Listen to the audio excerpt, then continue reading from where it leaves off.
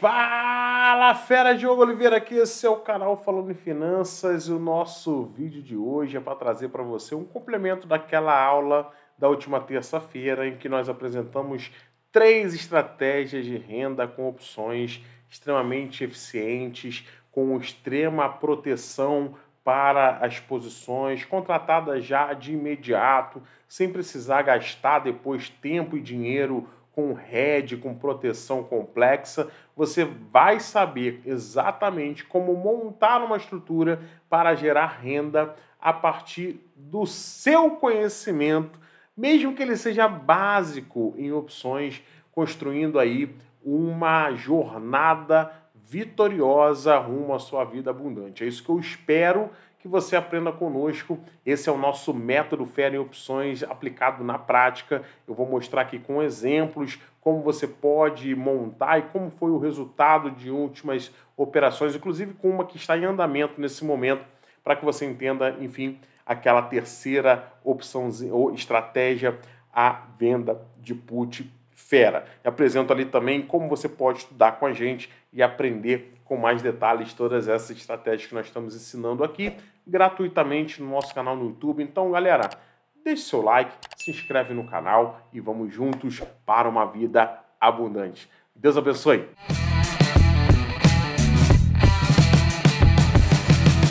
Fala, fera! Chegamos na hora tão esperada que a apresentação daquelas últimas estratégias ficaram ali restando no último vídeo.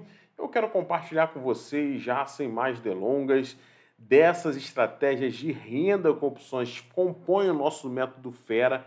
Claro que nós temos mais algumas ali no ambiente da imersão, já vou mostrar para vocês como vocês podem estudar conosco, o que, que vocês podem aprender, qual é o melhor caminho para que vocês possam evoluir conosco nos estudos, mas eu quero aqui já de cara ir para a estratégia 3, que se chama a venda de put fera. Exatamente essa aqui. Por que isso, pessoal? Por que, que essa estratégia tem esse nome? Porque geralmente os investidores que começam ali a conhecer as opções tomam a seguinte decisão: vou vender put para quê?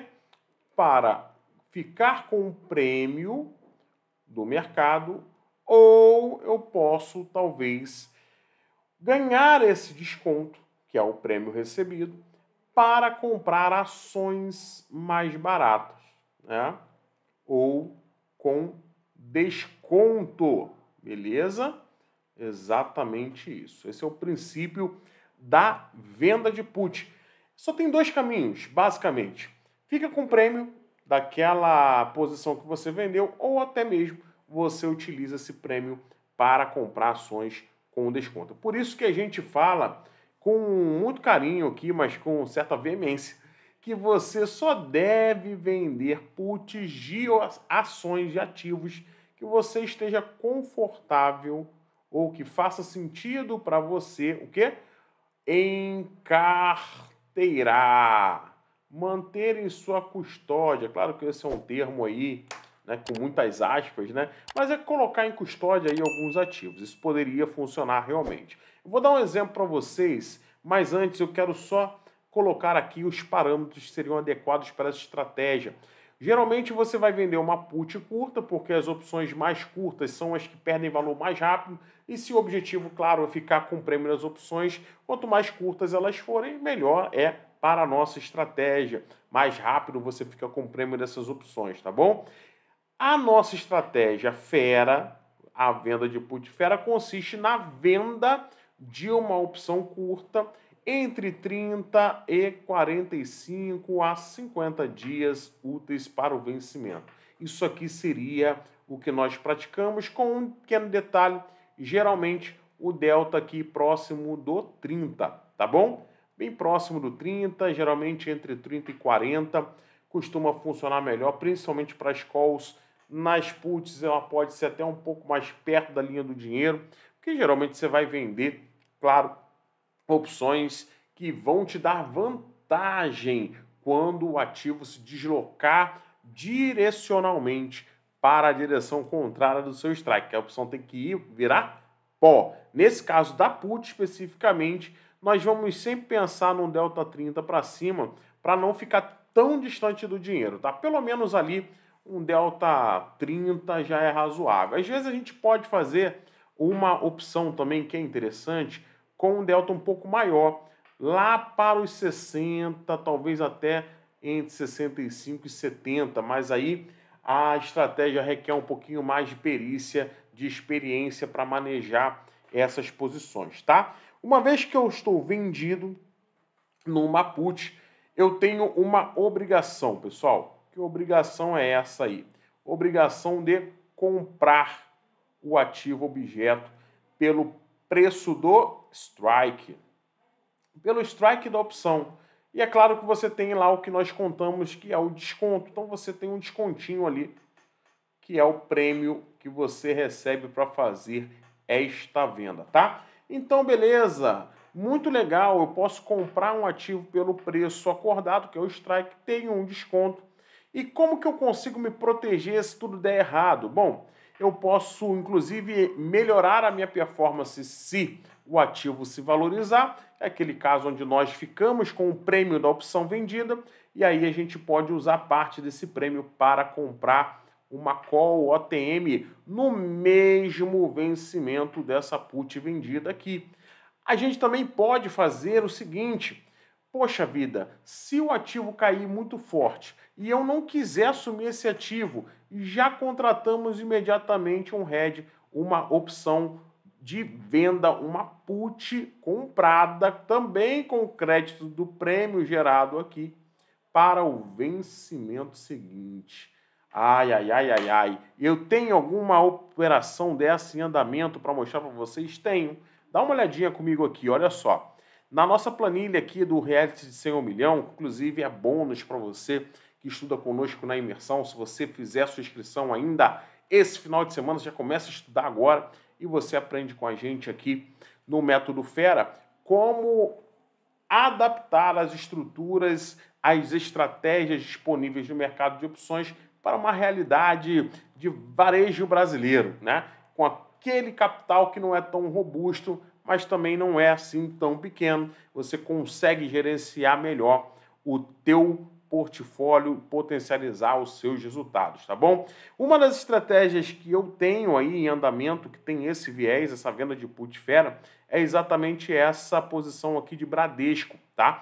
Bradesco, eu vendi essa opção aqui, ó, BBDC U171, e olha lá, ela tá dentro do dinheiro. Eu vendi por 73 centavos na expectativa de Bradesco valorizar. Mas infelizmente Bradesco não valorizou da maneira que nós esperávamos. Nós sim temos um parâmetro, é claro que nós temos um parâmetro para venda de put que é mais adequado, que seria de fato numa região de suporte mais contundente ou quando o ativo está aí já meio lateralizado durante um tempo, pensando numa recuperação no médio prazo, pelo menos, tá? De preferência no curto prazo.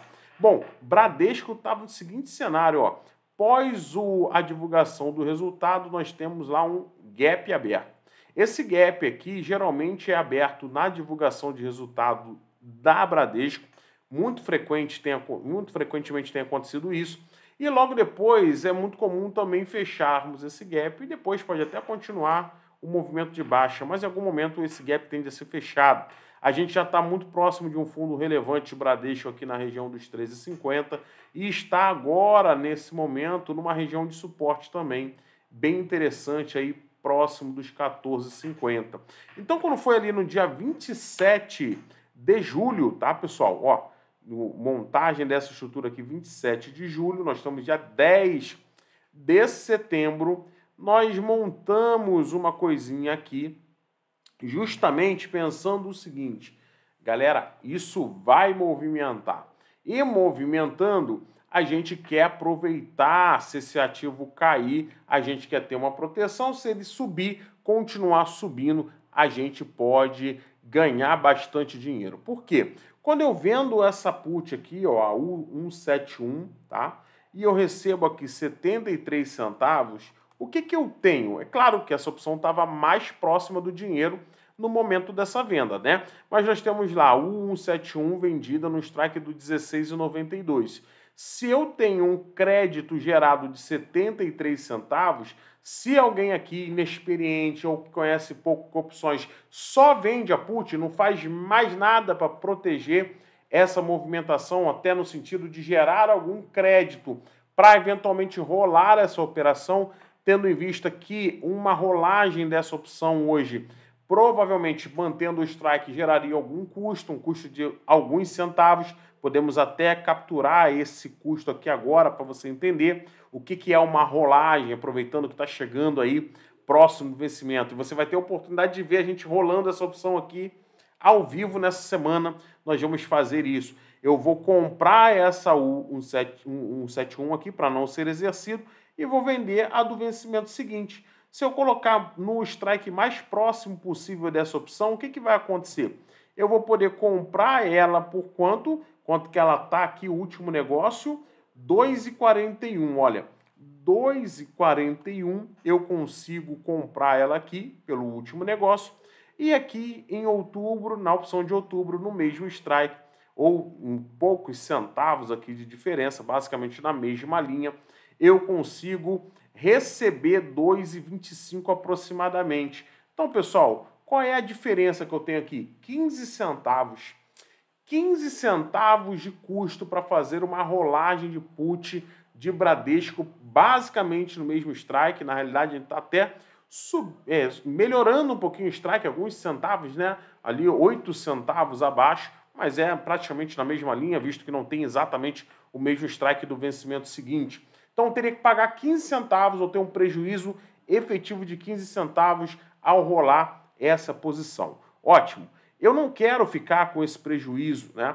Então, quando eu vendi essa put aqui, que me dava inclusive o direito de comprar, né? O, o direito não, perdão, reformulando, a obrigação eventual de comprar Bradesco por R$ 16,92, porém com desconto de 73 centavos, meu preço de entrada em Bradesco é 16,19.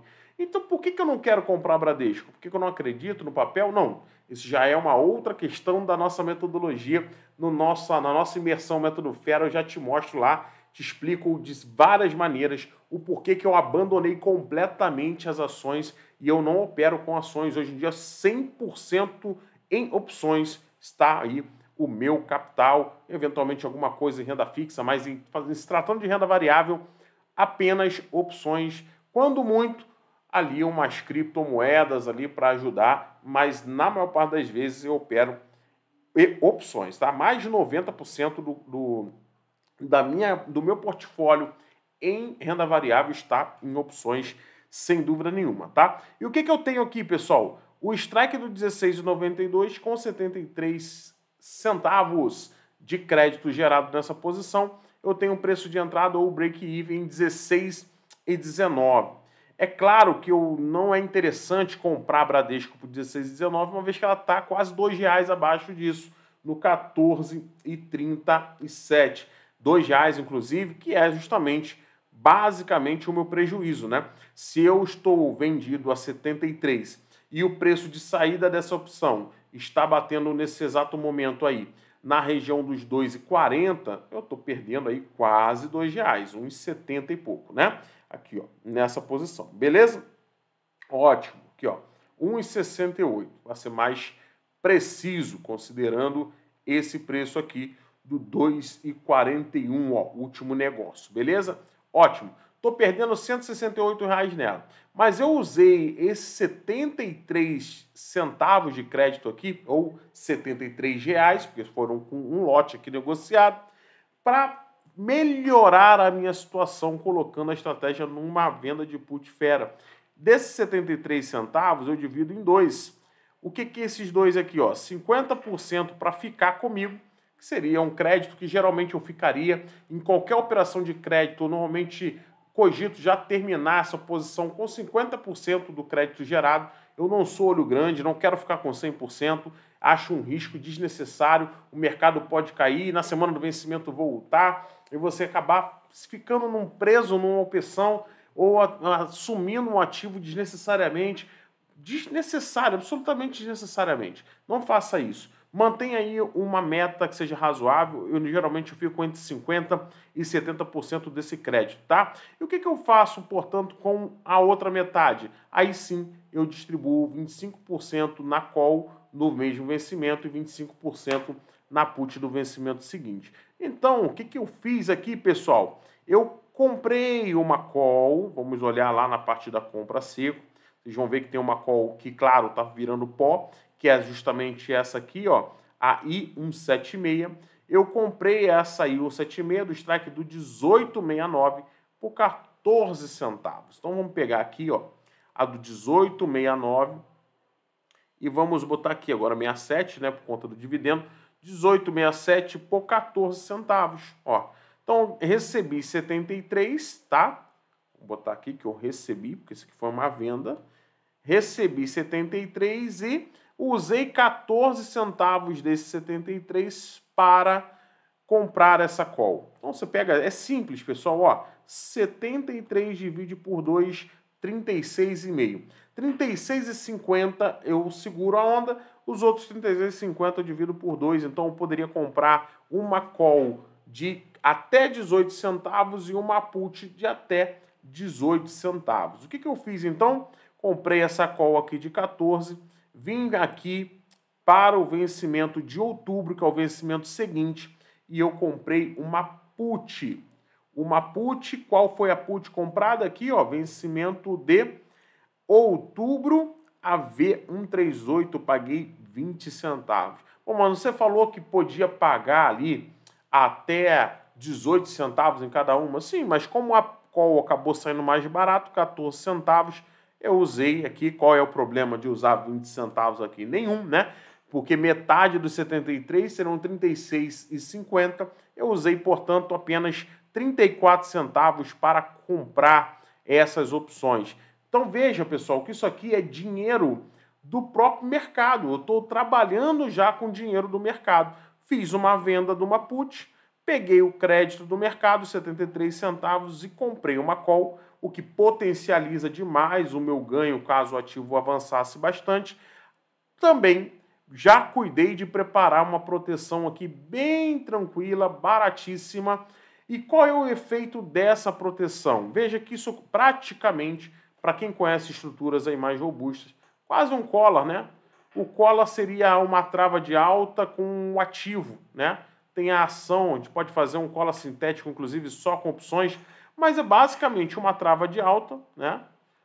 Uma movimentação aqui que me deixa positivamente favorecido com uma alta do ativo, mas eu estou travando o meu risco, né? Eu não tenho o risco total da posição, inclusive, e eu não preciso assumir o ativo por conta dessa put, porque eu tenho, inclusive, já o preço garantido de saída dela, tá? Mas na prática, pessoal, o grande segredo dessa estratégia está aqui o que eu quero, na verdade, com essa put aqui, pessoal? Essa put aqui, a V138, ela só vai me favorecer, me fazer o favor de me ajudar a rolar essa put que eu vendi, sem que eu precise pagar do meu bolso também aqueles 15 centavos, por exemplo. Por que isso? Dê uma olhada comigo. A BBDC V138 que eu paguei 20 centavos está quanto agora? 38 centavos. Quanto que eu tenho de lucro aqui? 18 centavos. Quanto que eu precisava para rolar aquela put lá? 15 centavos hora. Então eu posso realizar o lucro dessa put aqui e posso fazer a minha rolagem tranquila. Mais do que isso, eu posso, além de realizar o lucro aqui para ajudar a pagar aquela rolagem, eu posso só rolar, aceitar pagar os 15 centavos Inclusive comprar mais uma call aí do vencimento de outubro, se eu quiser, para ficar tranquilinho ali. E manter essa put. Porque se o ativo continuar caindo, ela vai continuar me favorecendo. É exatamente o cenário que nós temos, por exemplo, nessa Cielo aqui, ó. Essa Cielo U389, eu tenho ainda R$ 88,00 de ganho, que é de uma estrutura anterior, de uma outra venda de put fera, essa venda de put fera aí que eu estou falando para você, nós já fizemos aí em Cielo anteriormente e ela ainda está no rendendo lucro, que é justamente essa opção aqui, ó. Vamos achá-la aqui, essa aqui, ó. Cielo S500, vencimento de julho, eu vendi ela por 39 centavos, encerrei a operação com 10 centavos, então ganhei 290 aqui, mas com crédito dessa posição aqui, os 390 que eu gerei de crédito aqui, eu comprei duas Cielos. Uma era essa aqui, porque ao contrário da Bradesco, Cielo subiu para chuchu, subiu para caramba. Então, com aquele crédito da Cielo S500, eu comprei essa Cielinho aqui, ó. Esta, deixa eu botar aqui para vocês, cadê ela? Cadê ela? Cadê ela? Cadê ela? 36. Cielo, vamos achar. Onde que ela está? Cielo, apareça, Cielo, apareça. Deixa me achar ela aqui. Não, para cá, né, pessoal? Aqui, ó. Ciel, Ciel. Ache-me um minuto, o pessoal já acha ela. Não, não é put, não, é a call. Cadê a qual? Vamos fazer o seguinte, deixa eu deixar de, deixa eu deixar de ser burro e vamos, botar, vamos filtrar isso aqui. Do, ah, é essa aqui, a G540, exatamente no mesmo vencimento de julho. Eu tinha essa posição aqui, ó, S500, então vendo uma put na S500, na, na, no vencimento de julho, fico com esse crédito bacana aqui de 290 e encerro a posição da call. Né? Deixou, ela virou pó, a call virou pó, estava bem fora do dinheiro, e eu perdi só 60 reais nela. No entanto, eu usei parte desse crédito aqui, dessa Cielos S500, para comprar justamente essa que nós temos ainda. Estamos posicionados nela ainda, a U389. E eu já vim descascando ela, eu tenho 800, eu comprei 1000. E aí eu já saí com 200 a 17, e ela, as outras 800 ainda está 17. Então, além dos 290 que eu ganhei aqui, eu tenho também um benefício de ganhar nessa put aqui. Então, eu ganho às vezes na ida e ganho na volta. Olha que bacana, né? Ganha na ida e ganha na volta. Essa também é uma vantagem da put comprada. Só não ganhei na call porque o tempo acabou, né? O vencimento daquela opção ela chegou antes do tempo, apesar da valorização da Cielo ali, acabou virando pó aquela opção, mas também não há problema nenhum, porque a gente colocou grana no bolso, é isso que importa, e eu já ganhei 290 ali, perdi 60, então fiquei com 230 daquela primeira posição, e ainda estou rentabilizando essa put aqui, a U389 do strike do 389, ainda tem mais 88 reais aqui para garantir. É ou não é uma estratégia interessante, pessoal? Vocês gostaram disso aqui? Acompanhe com a gente nos próximos episódios do nosso Reality 100 milhão, a partir de terça-feira. Então, de terça a sexta, às três da tarde, nós estamos ao vivo toda semana, de terça a sexta, às três da tarde, 15 horas do horário de Brasília, nós estamos ao vivo. Acabou essa aula aqui, nós já subimos, porque antes dessa aula às 3 da tarde, nós temos às 2h30 ou 14h30 uma aula no Zoom exclusiva para os nossos alunos do reality de 100 ao milhão. Então o que, que nós fazemos aqui? Nós entramos na plataforma aqui ó, na nossa escola de opções do nosso produto aqui falando em finanças, do nosso método. Nós temos mentoria para acompanhamento individual, temos essa planilha aqui que você pode visualizar como aluno, mas também pode adquirir uma sua para você organizar suas operações, tá?